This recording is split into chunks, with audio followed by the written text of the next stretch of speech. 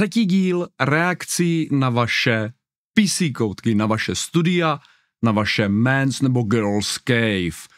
Tak, mám tady Strator House, Strator House, nebo jak to přečíst správně. Zadek přikládám epileptický setup s vědomím, že toto se ti nebude líbit. Ze startu bych řekl, že 6 monitorů, protože 3 mi prostě nestačily, od chvíle, co mám 6, tak si přijdu značně efektivnější. Multitasking, chápu. Těch 6 ale přineslo plno problémů, zvlášť s kabelama ve spojení s liftorem.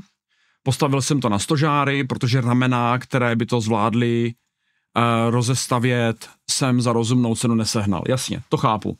To je asi celkem jako logický. Snad to stihnu live, když tak, uh, když ne, když tak navíc odpovím na streamu.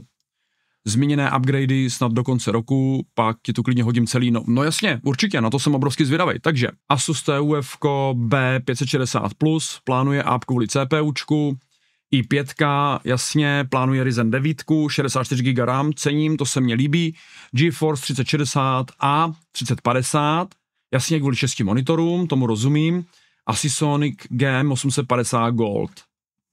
V pořádku, 6x LG 27 palců. Cením si jednocený ty monitory. To obrovsky cením. To se mně líbí, protože asi by moje ADHD dostalo strašně na zadek, kdyby každý ten monitor byl jiný, jinak velký, jinak usazený a bylo by to hrozně zběsilý. A myslím si, že nejsem sám.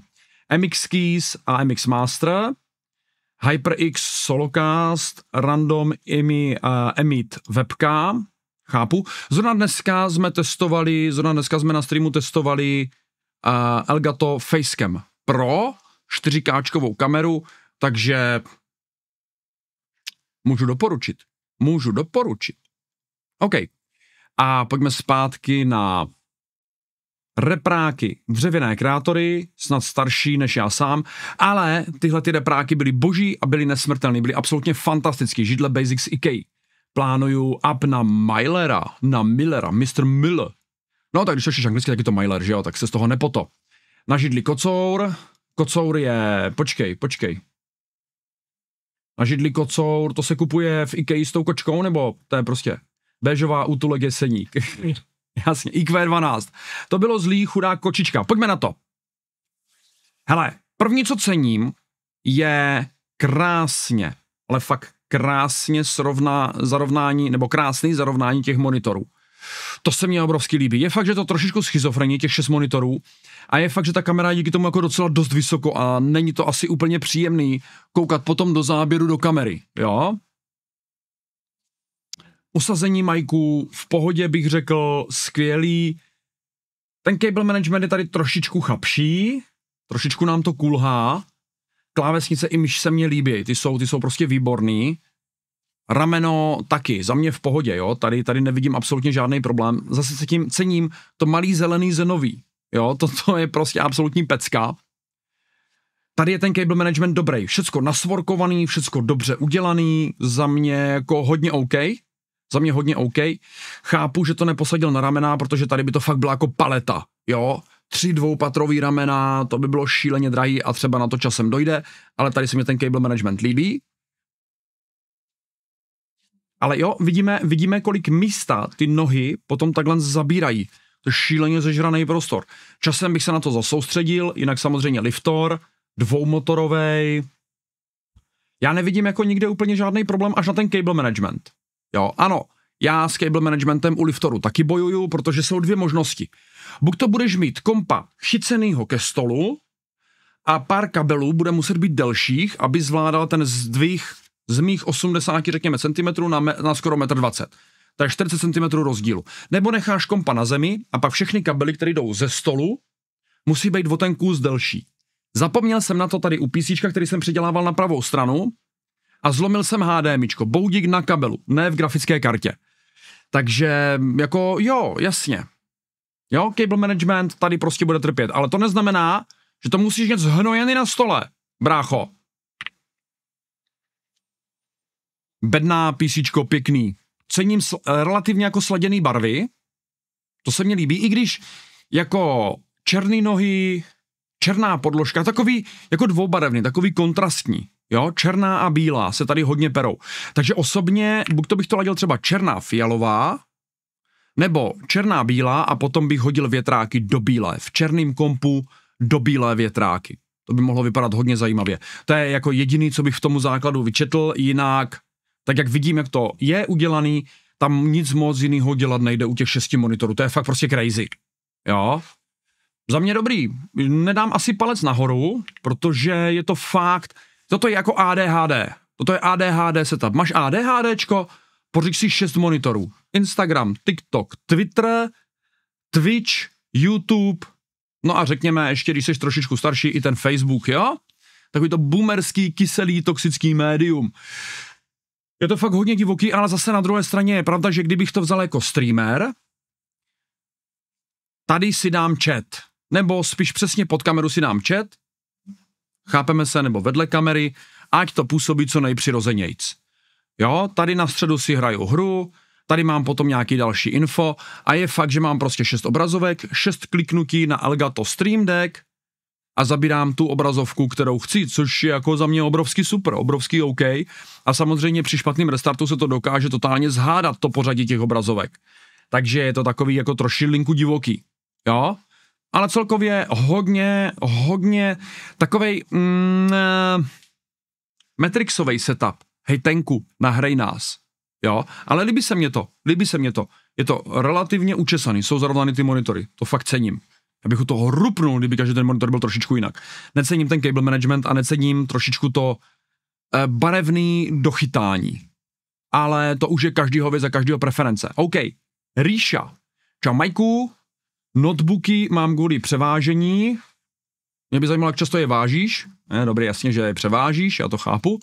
Celý tento setup převážím, přenáším v jednom batohu tak se dvakrát do týdne. Mac mám na práci a HP na 3D tisk, jasně. Nastavování dronu a v Battlefightu. K tomu na fotce mi ještě chybí klávesnice, jenky 60% ořez.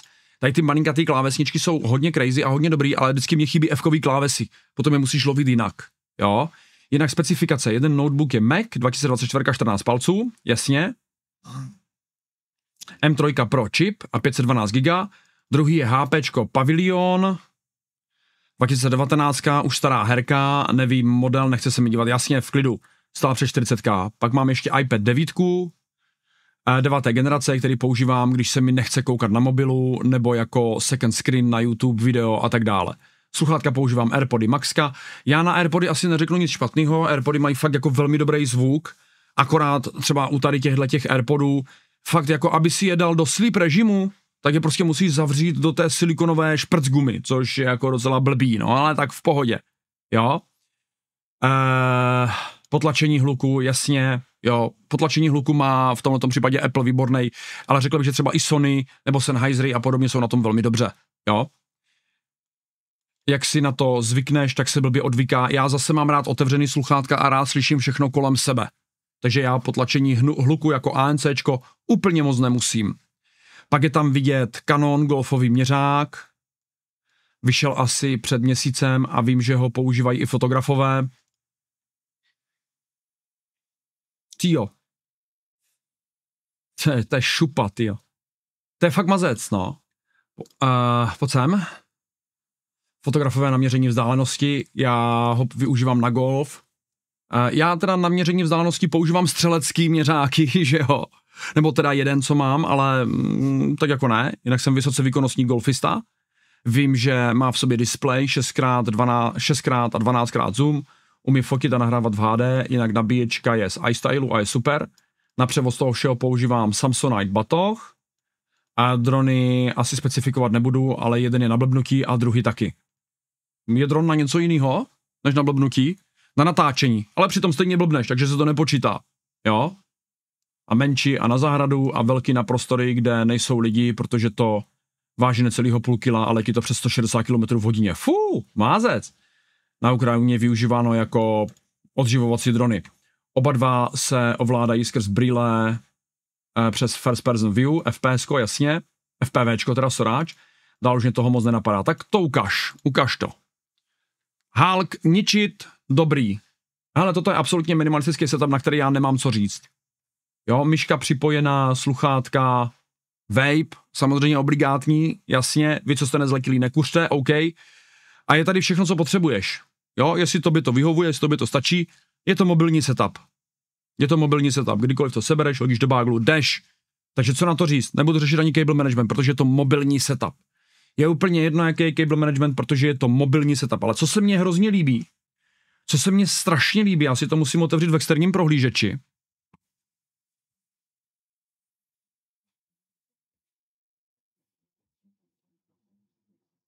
Líbí se mně ta textura na tom, na tom stole. Tady tyhle ty šuplíčky jsou fantasticky udělané. Celý ten stůl mně přijde jako hrozně, hrozně vychytaná záležitost, jako neskutečně vychytaná záležitost, taková stylovečka. Ten stůl se mně fakt líbí. Ten stůl obrovsky cením. OK, neťáček. Můj stříhač, dámy a pánové. PC Radeon RX 6750 XT, XT 12 GB VRAM, k tomu Ryzen 5K 7600, jasně, 32 GB RAM.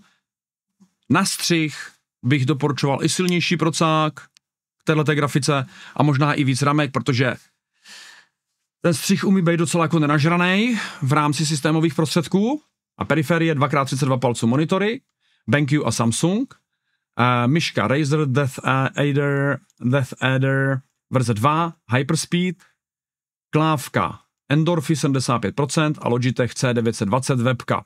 Další šumítko. Ty Logitechy jsou oblíbený, ale přitom jsou to fakt jako generátory šumu, tyjo. A sluchátka HyperX Cloud Fight.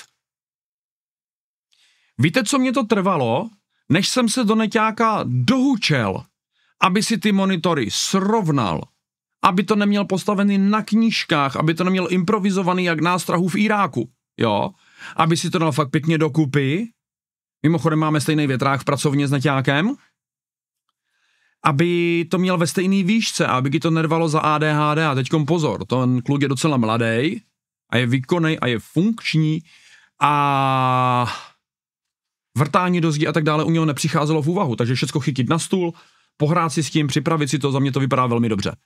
Za mě to vypadá skvěle. Co tady ještě není doplněný, jaký má mikrofon, ale vidím, že je to XLR mikrofon, takže bych docela rád věděl, jaký má zesík k tomu. A toto je totálně minimalistický setup. Tady není nic, co na tom stole nemá dělat. Monitory, mikrofon, klávesnice, myš, čau, podložka, hotovo, tečka. Dál nic víc, jo? Takže co chceš dělat? A k tomu nějaký PC na práci. Hmm, dobrá práce s tím větrákem.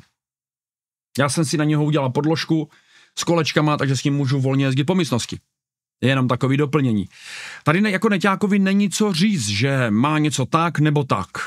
Jo, tady na tom stolu totiž není nic, co by tam nemělo být. A líbí se mně, že i v tom málu, se kterým pracuje, pod sem, i v tom málu, se kterým pracuje, má ty kabely stažený do sebe, nějak, aspoň trošku, jo, pospínaný aspoň trošku a snaží se na tom nějak fungovat. Takže tohle to, dámy a pánové, je e, koutek nezletilýho kluka, který si s tím dokáže vyhrát pomalu víc než některý velký streamer. A je v úplným základu. Je v tom úplně nejjednodušším možným základu. Pecka. Pecka. Dáme do tohohle videa ještě jednoho, protože tady vidím tu toxicky zelenou, tyjo. David GDI, ahoj, zde můj skromný koutek. Hmm, první, co na mě promlouvá, je Toxic Green. A to, že na mě všichni koukáte, to se mně líbí. Ten můj ksicht jak kouká z každého rohu. Toxic Green, Poison, Poison Carl, ne, Poison David, Poison Evie, ne, prostě je to Poison David. Je to zelený a je to focený po tmě, což znamená, že já mu totálně nemůžu dát sérky za špatný cable management, už můžu. Už můžu. Už můžu. Pojďme se na to podívat ve velkým. Ups jsem se trošku uklík. A na příště budeme začínat Hobbitem, OK? Tak, co mám strašně rád? Skosená střecha. Když seš prostě v, ateliér, v ateliérovém prostředí pod střechou. Absolutně nářez. Já nevím proč, z nějakého uchylného důvodu to miluju. Warning, Mitsubishi Motors Parking Only. To mi zajímalo, kdo to sedlu sehnal. To je jako docela úlet. A teď. Usazení sluchátek, dálkáče vodledek, bro, v moderní době, Rob Daislot by ti řekl, že to máš jak duch na že jenom duchna vypíná, zapíná světla dálkáčem. Absolutně v klidu, taky tady mám pár dálkáčů. Repráky namířený do sterea, zelený prosvícení, mechanická klávesnice. Toto vypadá všechno na Razery. Já nemám moc rád Logitech podložka a to, to nedokážu teď pojmenovat. Já moc tyhle ty myšky jako nemám rád, ty perforovaný, ty honeycomb, protože mě se hodně potějí ruce a potím vetřelčí kyselinu. Vevnitř té myši to potom vypadá fakt jako luxusně a rozkošně. Notebook by si možná zasloužil taky nějaký stojánek, nic proti, toto je docela dobrý, tam je toho stanice. Tady jako není co říct, no. Já bych teda jako krapítek zapracoval na tom na tom celkovým ještě sladění. Mně by se líbilo totiž, kdyby třeba noťák měl do zelena wallpaper. Strašně by se mně to líbilo. Protože při tomhletom Hershoft, při uh, tomhletom záběru by to prostě vypadalo úplně mega, kdyby ten noťák byl otevřený a z toho svítila nějaká toxická tapeta s něčím. Úplně wow. Jo, to je taková jediná drobnost. Jinak, hele, co na to říct? Takhle to vypadá super. Jednobarevný, sladěný. Zelený podsvícení, periferie všechny černý. OK. Jako jo, jako jo, proč ne? Proč ne? A i ten cable management je jako docela dobrý. Bál jsem se toho, myslel jsem si, že to bude mít schovaný ve tmě, aby to nebylo vidět, ale ve finále to jako nevypadá až tak hrozně. Teda, nevidíme pod stůl, ale co je pod stolem, to není vidět obecně, jo, to je prostě schovaný. Takže, jako dobrý. Dobrý. Já bych tam ještě někde chtěl vidět nějaký mikrofon na solidní pokec, ale vidím to na sluchátka s mikrofonem, takže headsetový sluchátka a prostě takovou tu pohodku. Chápeme se. Večerní gamesení úplně na max levelu. Absolutně v klidečku a velká spokojenost. Takže k tomu není moc víc co říct. Hele, pěkný setupy, cením to. Ve spoustě případů jako velmi hezky udělaný, velmi hezky zapravený, velmi pěkně sladěný. A těším se dál, protože tady na nás čeká potom černobílá smršť a podobné věci. Jako jo, obrovsky mě těší jedna věc a to, že vy si hrajete se svýma PC koutkama. Co mě obráceně k tomu moc netěší je, že si s tím nehrají čeští streameři. To je fakt velká škoda. Protože kdyby si čeští streameři z půlky hráli se svýma PC koutkama, se svýma stream koutkama, tak jako si s něma hrajete vy, tak by ta česká scéna online, jak YouTube, tak Twitche, tak Kiku, TikTok neřeším, TikTok není scéna, to je garbage. Jo? OK? Tak by ta scéna vypadala úplně jinak. Hodně zajímavějc. Hodně zajímavějc a hodně výživnějc. A i by tě víc bavilo potom skákat mezi těma streamerama, nemusel bys hledat svého oblíbeného streamera, který neměl úplný srance, ale prostě měl bys jako hodně těch streamerů na koukání a na proklikávání. Na hodně velký posílání donatů a na hodně eh, velký darování subů na různých místech. Víš jak? Nebojte se taky, přijďte za náma na Discord, godwin.cz lomeno Discord, ono tě to už přepojí, au, a na YouTube zároveň s tím jdete odběr, lajček a sdílejte tohleto video, ale to fakt ale bolelo, jako o tu hranu. Auva, já mám bebíčko. Pofoukáš mi to, manželko? Prej ne. Uh, prej jsem sráč. A baba řekla teďka, až mi ukázala tohle. Takže přijďte na kofi a zahojte mi bebíčko kávičkou. A přijďte za náma live na stream na Twitch. To je všechno. Další dílo. Již brzy. Teď jsem přemýšlel, co říct, jo. Mějte se. Čau. ne, nebolí to. Au, nebolí to, jsem velký kluk a nebolí to a nebudu brečet. Už to vypněte, jo.